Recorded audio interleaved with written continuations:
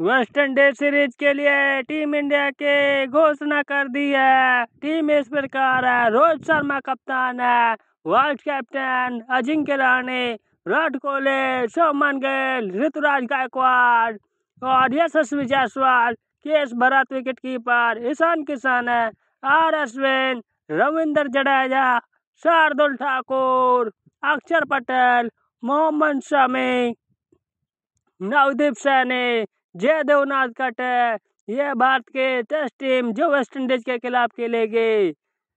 चेतेश्वर पुजारा को टीम से ड्रॉप कर दिया गया। खराब फॉर्म की वजह से फ़िलहाल चेतेश्वर पुजारा आउट फॉर्म है फॉर्म में नहीं है।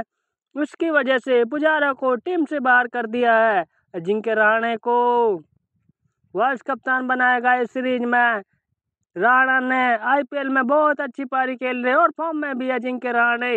ऋतुराज गायकवाड़, यशस्वी जायसवाल को इस सीरीज़ में मौका दिया गया क्योंकि दोनों खिलाड़ियों ने आईपीएल में रन बनाए हैं। अच्छे खिलाड़ी है, टैलेंटेड खिलाड़ी है, भारत के बढ़ते सितारे। Yashasvi Jaiswal, Ruturaj Gaikwad. Okay, good bye, thank you very much.